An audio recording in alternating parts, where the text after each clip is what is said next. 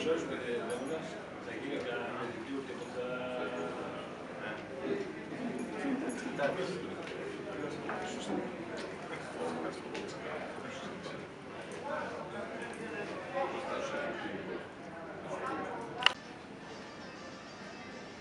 Ομοσπονδία μας ε, κάνει σήμερα αυτή τη συνέντευξη τύπου με σκοπό να ενημερώσει τον αγροτικό κόσμο για ορισμένα ζητήματα.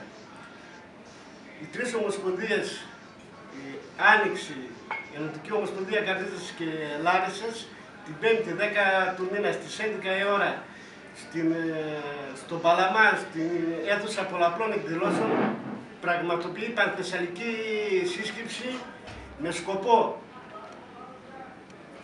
την συζήτηση των προβλημάτων και συνέχιση των κινητοποιήσεων.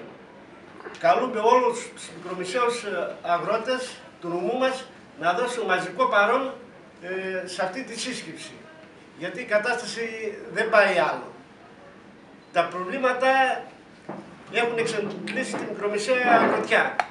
Από τη μια οι εξευτελιστικές ε, τιμές, από την άλλη η ραγδαία αύξηση του κόστους παραγωγής, και τα καρέτσια να πέφτουν βροχή, μας φέρνουν ε, σε αδιέξοδα. Γι' αυτό χρειάζεται να πάρουμε την υπόθεση στα χέρια μας. Μαζί και με τα άλλα λαϊκά στρώματα που πλήττονται από αυτή την ε, γενικότερη αντιλαϊκή πολιτική. Για ακόμα μια φορά καλώ τους, καλούμε τους μικρομεσαίους αγρότες την Πέμπτη στις 11 η ώρα το πρωί στον Παλαμά, στην Θεσσαλική σύσκεψη.